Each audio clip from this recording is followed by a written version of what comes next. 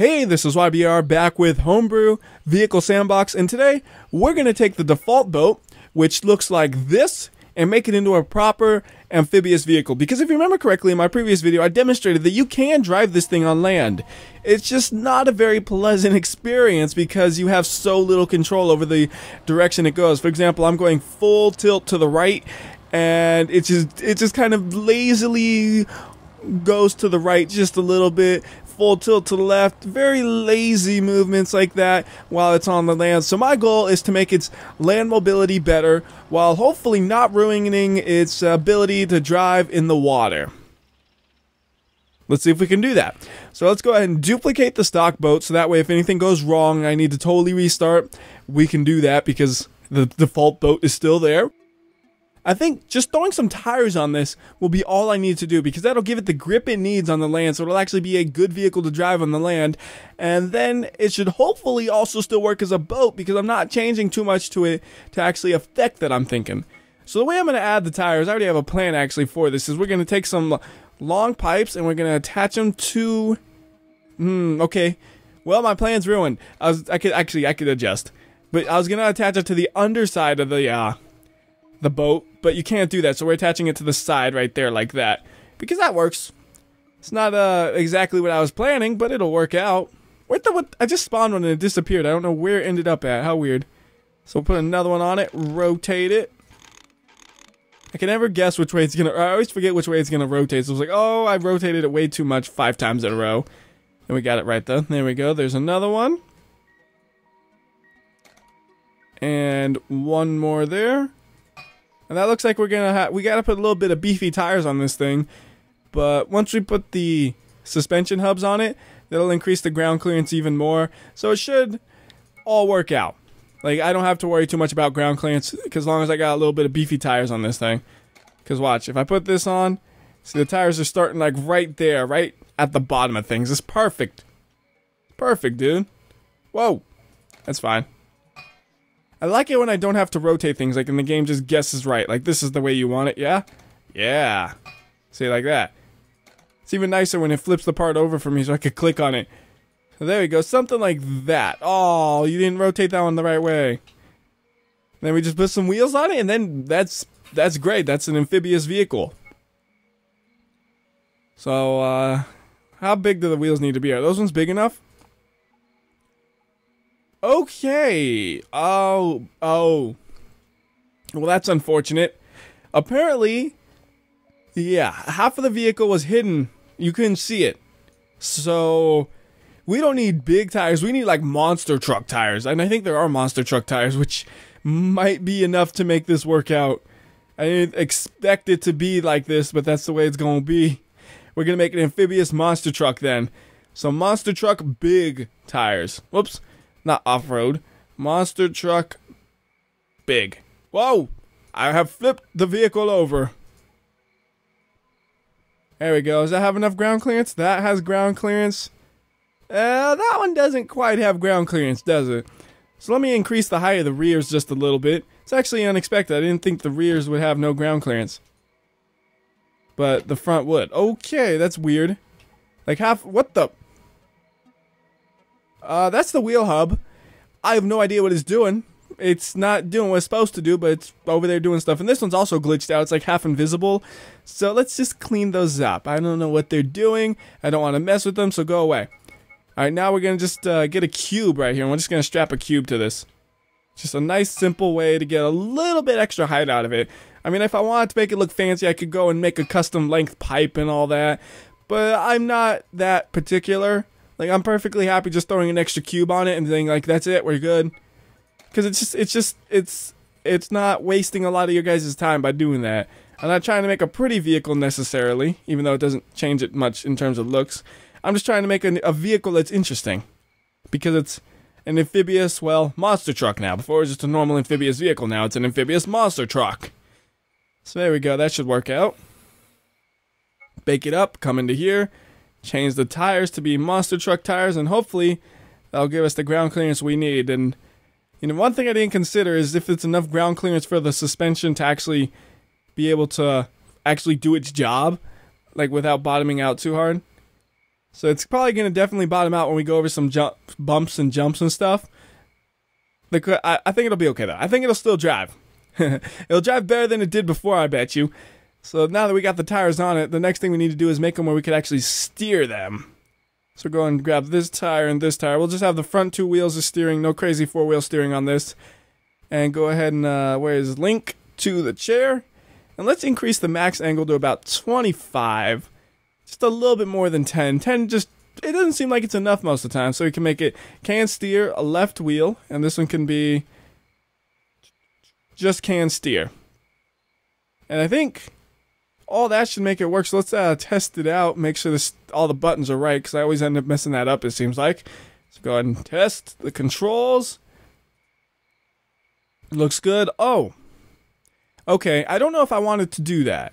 Uh, if you notice right here, like this, it moves the the all the like water parts and the land parts at the same time. I don't think I want to do that. I want to have them separate just in case.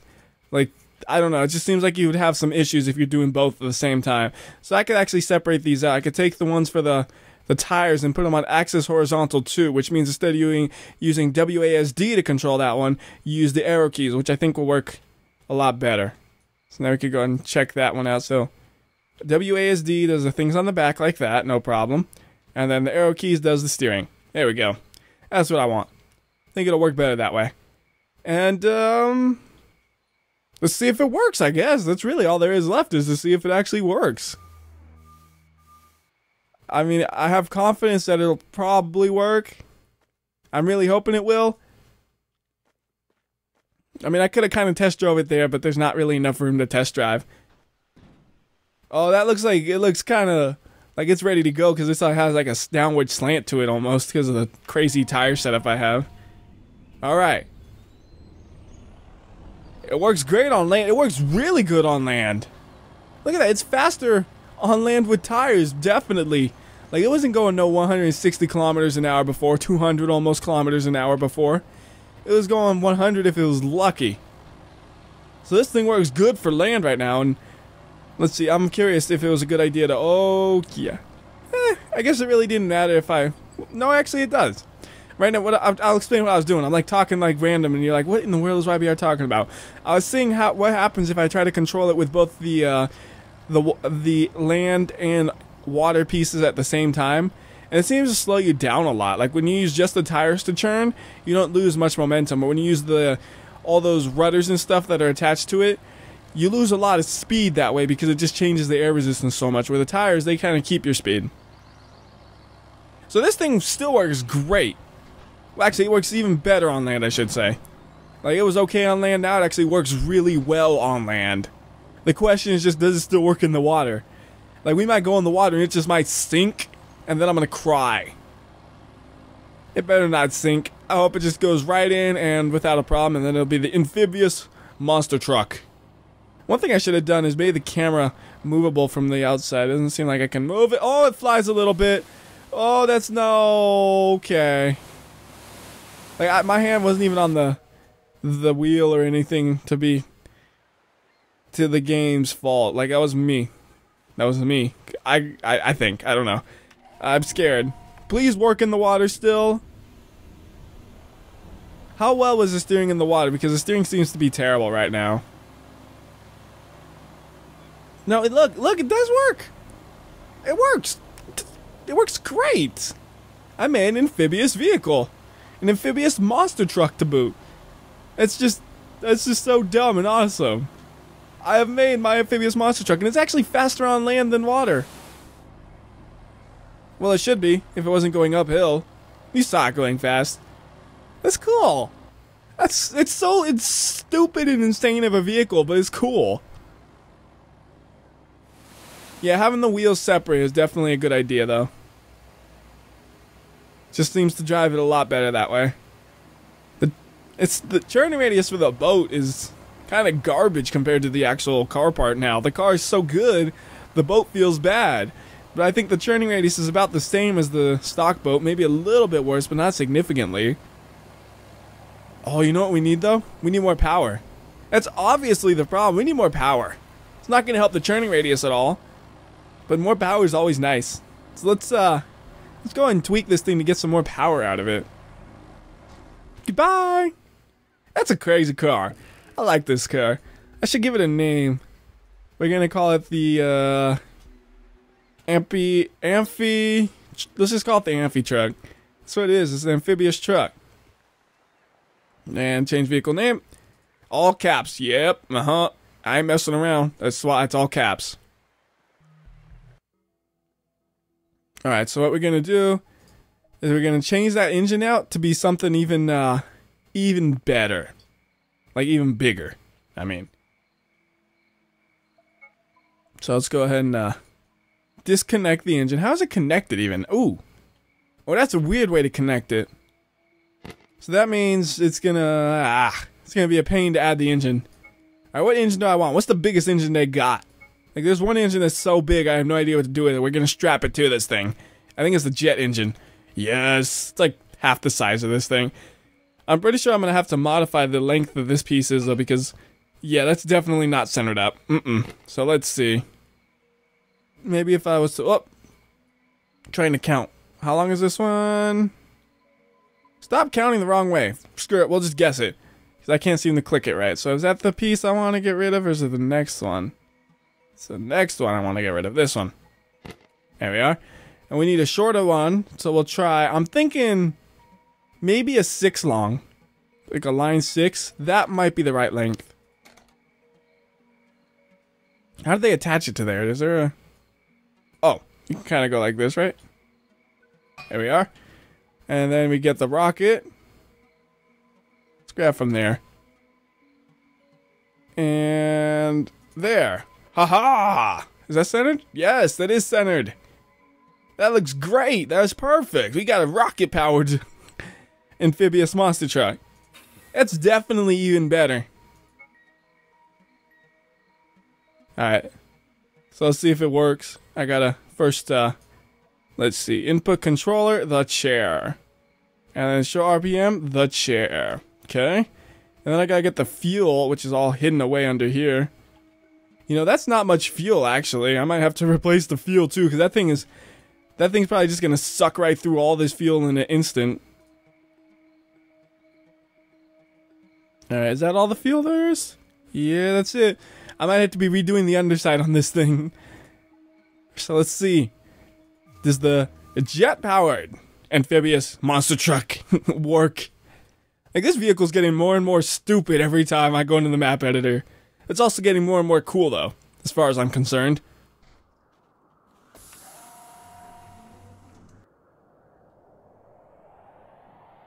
Like, that jet engine is just like, it's winding up, it's going. In reverse! I put the engine on backwards! Good job, you dummy. I wasn't paying attention, that's all. Like, I, I if you, if I look at the engine, I know it should be how it should look. I just didn't look at it because it's so big. I just, oh yeah, that's backwards. There we go. Try that again.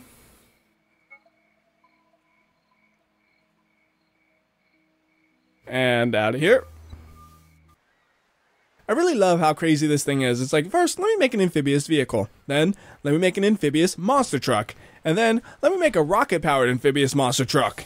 It's just like, how insane can you make it? I don't even know where to go from here to make it even more crazy and insane. Maybe add some wings to it, but I'll have to do that in a later video because I don't know the difference between all the wings. Um, but what I'm thinking is, it'll handle basically the same as the one where it had, well, what it was before, basically. But it should be able to go a lot faster. Like right now, I have 11,000 RPMs on the engine. And if I remember correctly, that engine goes up to 50,000.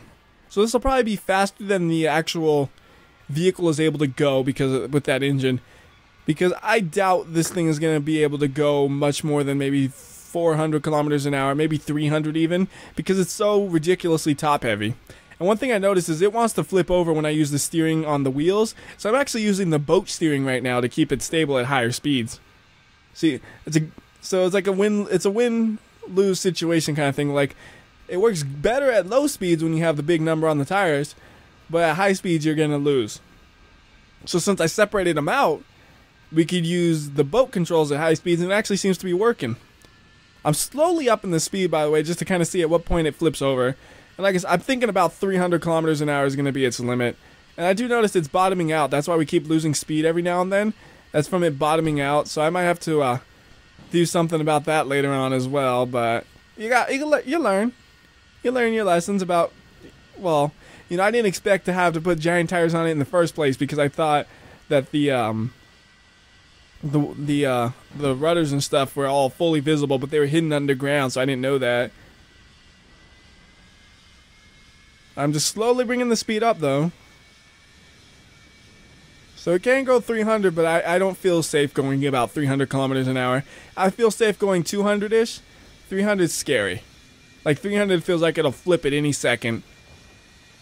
You see that? It's like, I'm gonna flip. You better not flip. I'm gonna flip. You better not flip. Just the whole way. I'm flipping. Ah, yes you are. Oh, we ran out of fuel too. Hey, the only reason it flipped over is because I ran out of fuel. Yeah, that's my excuse. So it still works on land, and it just goes faster. Nothing to complain about there. How's it work on the water? I'm assuming it should still work perfectly fine on the water. I just typed E accidentally. Ah, I did that before, actually, didn't I? How weird. I don't even remember typing E accidentally the first time. Alright, so let's go into the water and see if it still works there. Just drive right into the water. Oh, that is a thing of beauty, just being able to literally drive straight into the water and transition to in a boat like that. It's just beautiful. Alright, how fast can we take this thing?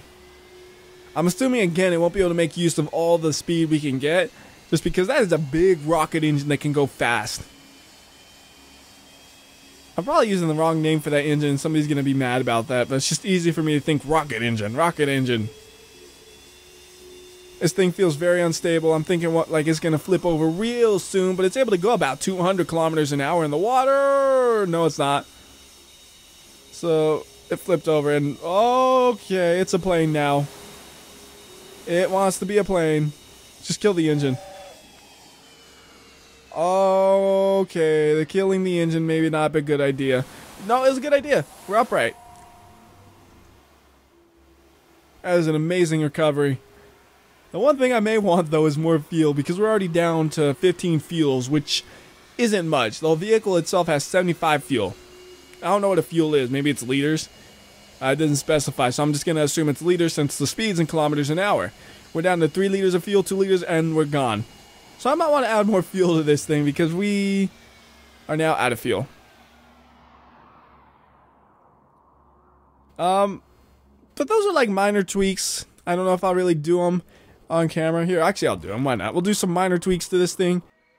So I'm not exactly sure if I'll actually drive this again, but I wanted to just uh, record some of the tweaks because there are things that I haven't done before in this game on camera. One of which is changing the suspension strength. So by default, I think the force is maxed out, but you can increase the damp force some more to hopefully make it where the vehicle won't bottom out. I don't know if that's enough to uh, make it not bottom out, but I hope I know just increasing it will make it bottom out less, which should at least help. I'm afraid to increase it too much though because it might negatively affect stability because it's so ridiculously top heavy this thing. Uh, but we can try to fix the top heaviness too.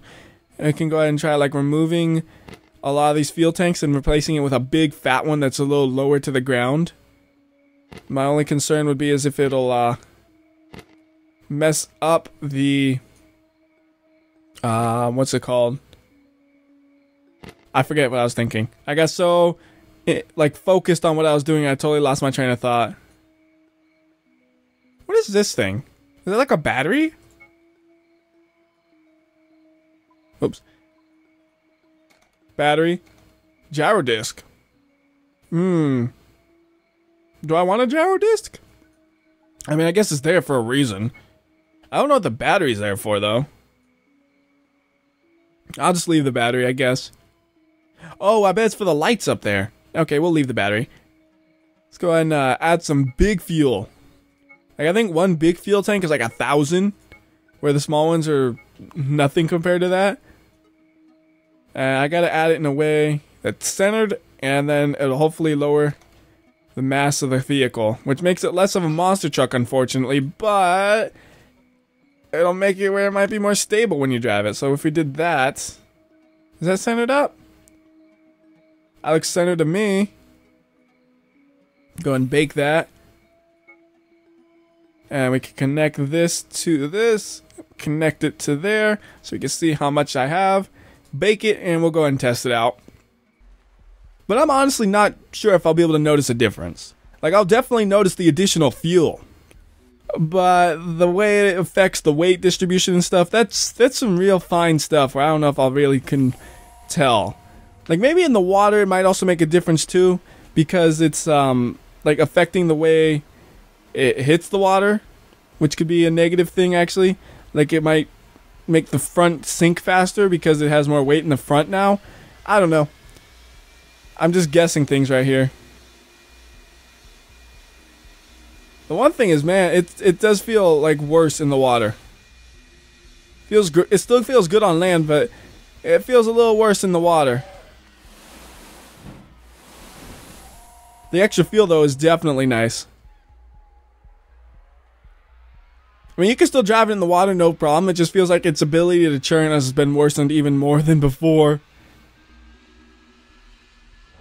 How's land? Is land improved at all? I mean, the good news is the fuel helping so much. Like, we'd be out of fuel already by now. Uh, land might be a little bit better because I did a churn using the tires at 260 miles per hour, which you couldn't normally do. If you tried to do that, you'd flip over. Like about 300 kilometers an hour is where you usually flip over, it seems like. And we're about hitting that, and we haven't flipped over yet, which is a good sign. I think it's a little bit better on the land. Not like significantly, because I still feel like I'm going to flip over, but we haven't yet. Even though we're going at 350 just now. I just increased the speed a bit. But we haven't flipped over yet, so it's a little bit better on land, a little bit worse on the water.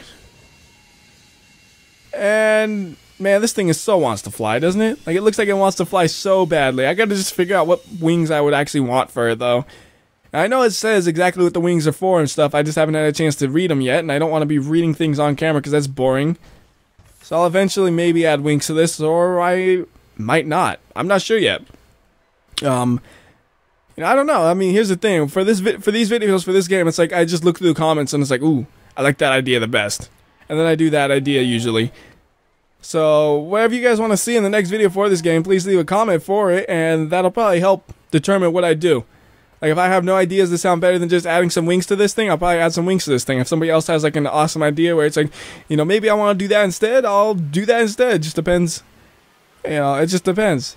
So, till next time, this is YBR making boats that can fly almost, that are monster trucks, that are amphibious crazy things. I don't even know what to call this thing. It's insane. Um, but I'll see you next time.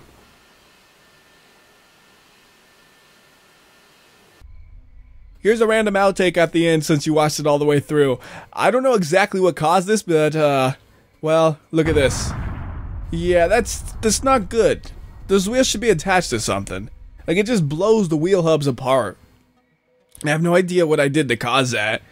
And I have to rebuild it, I think, for it to work, and I hope it doesn't still do this. Obviously, you'll know if it still does this because I've seen the video. But that's, um... That's bad. I mean, that's really bad. I don't know how I did that. It won't stay attached and it keeps exploding sounds going over it and... Man, it's bad. Look at it, it's in the roof. My boat's stuck in the roof. Alright, random outtake over.